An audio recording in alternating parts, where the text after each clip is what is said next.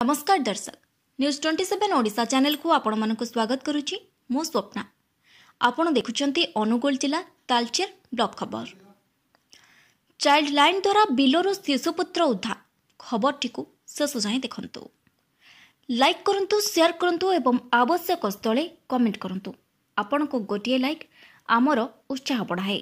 ଗୋଟିଏ ସେୟାର ଦେଶକୁ ବଢ଼ାଏ ଏବଂ ଗୋଟିଏ କମେଣ୍ଟ ବିଶ୍ୱକୁ ଜଗାଏ।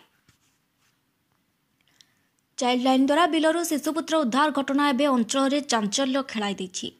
ଖବରରୁ ଜଣାପଡ଼ିଛି ଅନୁଗୁଳ ଜିଲ୍ଲା ନାଲକୋ ଥାନା ଅନ୍ତର୍ଗତ କୁକୁଡ଼ାଙ୍ଗ ଗାଁରେ ଏକ ଅଙ୍ଗନବାଡ଼ି କେନ୍ଦ୍ର ନିକଟରେ ଥିବା ନବଜାତ ଶିଶୁ ପୁତ୍ରକୁ ଉଦ୍ଧାର କରିଛି ଚାଇଲ୍ଡ ଲାଇନ୍ ଘଟଣାରୁ ପ୍ରକାଶ ଯେ ଆଜି ସକାଳେ କୁକୁଡ଼ାଙ୍ଗ ଗ୍ରାମର ନୟନୀ ନାୟକ ନାମକ ଜଣେ ମହିଳା ଶିଶୁକୁ ଉଦ୍ଧାର କରି ଅଙ୍ଗନବାଡ଼ି କର୍ମୀକୁ ଜଣାଇଥିଲେ।